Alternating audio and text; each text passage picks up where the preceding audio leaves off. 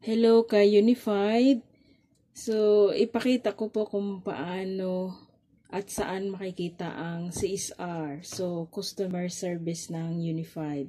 So, ang gagawin nyo po is, uh, pindutin nyo po itong tatlong dot. Mag-log out po kayo. Log out. So, dito sa log out, makikita nyo yung online support. I-click nyo po, ito po yung customer service natin. It, customer service o CSR. So, i-click mo lang yan. Yan, so lalabas na po yung website natin. So, dito, mag-create lang po kayo ng ticket. Dito. Kung ano po yung concern mo, ay, babalik. Kung ano po yung concern natin, so dito po tayo sa CSR. So, create ticket. Yan, pipill up nyo po yung details dito. Pipill upan nyo po yan siya. So, like, sa akin, ayan. Kapag lagi nyo po kasing ginagamit ang CSR, so nag store na po yung details nyo doon.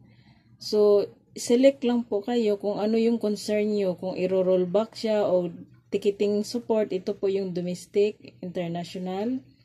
Tapos smart money send, Transpass, iRemit. Nandito din yung shipping lines. Ayan yung shipping lines. So, kung saan po ang concern nyo dyan, dyan po kayo mag-click.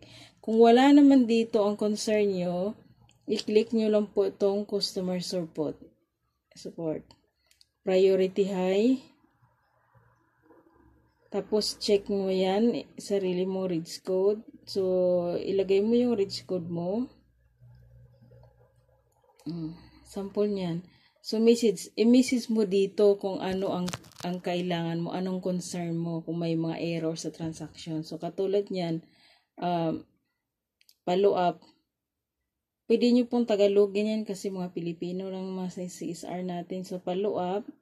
Kahit ano po yung i-message niyo, ha, wag lang yung sobrang haba.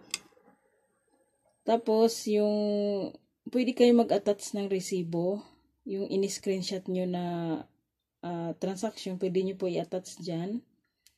Tapos, i ilagay nyo po itong, i-type nyo po itong code. Itong 351. 351. 56. Yan. Para hindi po kayo robot. So, after all, na fill upan nyo na, click submit. Ito, itong baba. Ayan, submit. So, once na-click nyo po yung submit, maglalabas po siya ng reference number. Ito po. Kailangan nyo tong kopyahin hanggat hindi po naging successful ang transaction nyo. So, pwede mo yung i-screenshot or i-copy mo siya para matandaan mo siya. Ngayon, i-view mo ang ticket dito. Yan. Di ba nandito yung message ko kanina? Ayan, follow up. So, dito kayo mag-usap sa CSR mag-ita-type mo kung ano, kasi dito din sila magre-reply until nagiging successful yung concern nyo. So, pag hindi mo naman uh, first time mo pang i-encode yung ticket reference niya, balik ka doon sa online support. Yan. Tapos yung view existing ticket ka na dito. 'Di ba yung reference kanina yung kulay green successful? Dito mo lang siyang ilagay.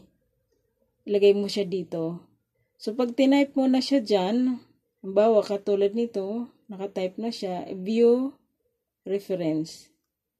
So, lalabas na dito yung pinag-usapan nyo kung ano. So, di ba nandito na.